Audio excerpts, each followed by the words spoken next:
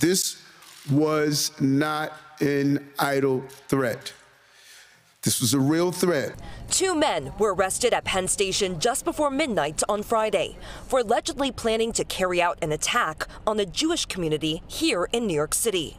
According to police, the two men were found to be possessing a Glock semi automatic weapon, a hunting knife, another firearm with its serial number obscured, a 30 round magazine, a black ski mask, and a Nazi armband. A Nazi armband in New York City in 2022. The two suspects, Christopher Brown and Matthew Marr, were charged and arraigned over the weekend.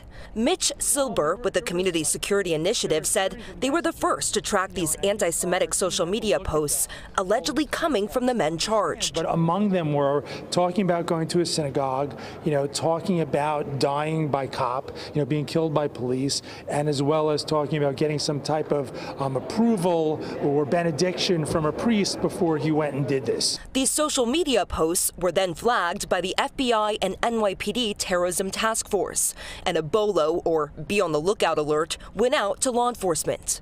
And it was these two officers here who spotted Brown and Marr entering Penn Station. We were up at uh, 34th and 7th, 34th Street and 7th Avenue, when we saw him actually walk in with his friend.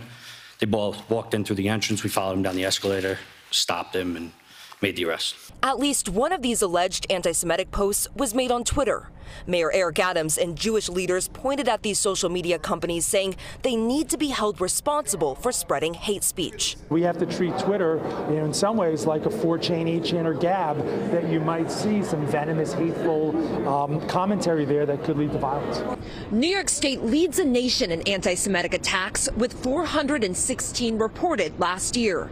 Reporting outside Penn Station, I'm Morgan McKay, Fox 5 News.